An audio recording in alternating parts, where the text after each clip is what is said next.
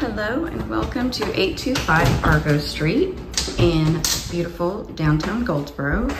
When you enter through the side door, we have a very spacious kitchen with lots of cabinets, a new stove, very clean refrigerator, even a little spot to hang up your jackets and keys.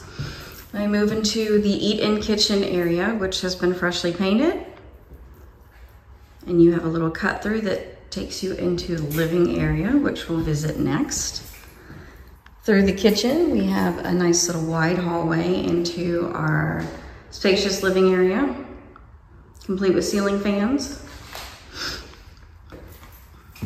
And here's our nice hallway, which goes into both the bedrooms, the bathroom, and the living area, as well as the kitchen. Here is one of the bedrooms with original hardwood floors.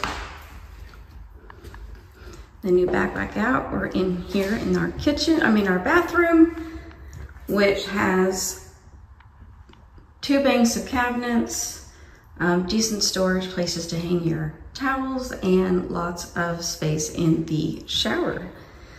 And then we come into the final bedroom, which also has two corner windows, closet, and again with the original beautiful hardwood floors here. And thanks so much for visiting 825 Argo.